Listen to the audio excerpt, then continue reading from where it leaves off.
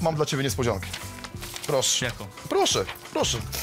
Że Daję tak? ci dzisiaj szansę, zabieram notatki, proszę bardzo. A jak notatki? To co, ja od razu myśli? No, pro, no słuchaj, no musisz... Ale poczekaj, powiedz, że to nie jest wyreżyserowane. ja Nie, nawet no to jest, to jest na żywo, państwo, no, absolutnie, no, my nic to, żeśmy tego nie, nie, nie ten...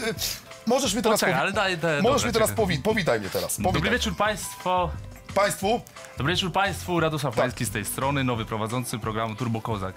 Mamy zaszczyt po raz pierwszy prowadzić program. Myślę, że jeszcze mi się nie do końca to wszystko uda, ale proszę mi, proszę mi dać trochę czasu. Chciałbym powitać swojego gościa, który nigdy nie był numerem jeden w Turbo Kozaku, ale to on, Bartosz Ignaciej! ale jak nie byłem, przecież ja jestem rekordzistą programu. Ale to jest mój program i ja mówię, jaki jesteś, tak? Przepraszam, do tylko zaznaczyć, że byłem rekord, jestem rekordzistą programu. Nie jesteś, to są oszukiwania. 271 punktów zdobyłem. Niestety, drogi Radku, dostaję informację od szefa, Że to nie wyszło, to że szef to prosi, pas, że no. szef prosi, abyśmy jednak na Nie najbliższe poszło, ale cztery... Nie, szef mówi, że było dobrze, Tak. ale też odnosi wrażenie, że ty jesteś droższy ode mnie.